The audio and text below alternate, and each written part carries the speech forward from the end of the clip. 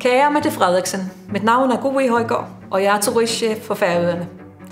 Det glæder os, at Danmark den 15. juni genåbner grænsen til Norge, Island og Tyskland. På Udenrigsministeriets side har vi kunnet læse nyheden, og på dette kort er det flot illustreret. Men der mangler en lille, men for os ganske vigtig detalje. Færøerne. Fordi vi genåbner nemlig også for danske turister den 15. juni. Fejlen er nok mere vores end din. Vi har nok ikke gjort tilstrækkeligt opmærksom på os selv. Derfor har vi i dag bedt færinger om at dokumentere, at færøerne stadig findes, og takke dig for billedet. Vi vil med stor glæde invitere dig og alle andre danskere til at komme og besøge Færøerne. Til en sejltur på fjordene, til kulturelle oplevelser og en middag på en af vores fantastiske restauranter. Du skal være så hjertelig velkommen.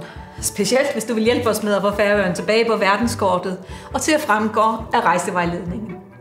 Vi håber, vi ses på Færøerne. Sådan.